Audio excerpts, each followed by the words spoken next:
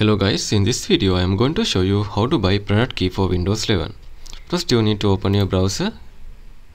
Once it is opened, you need to go to address bar, type Windows 11 product key buy and hit enter.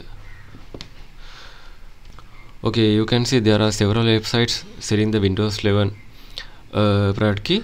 So the Gamers Outlet is uh, uh, authorized seller so you can just tap on their website. Okay now i'm in their website scroll down a little bit and you can see there are several windows 11 pro keys in here enterprise level home edition and pro education kind of thing. If you are using windows 11 education just tap on that one. It is 11 uh, it is very cheap. So you can buy it from here. Once you buy go to start menu go to setting. Under the system setting scroll down a little bit. Go to activation. And tap on change in the change product key. Now you need to enter the new product key here.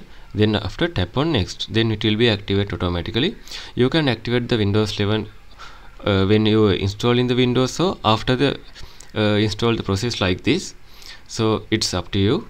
So this is how you can buy a product key for windows 11 so if you think this video is helpful, please consider subscribe and liking this video.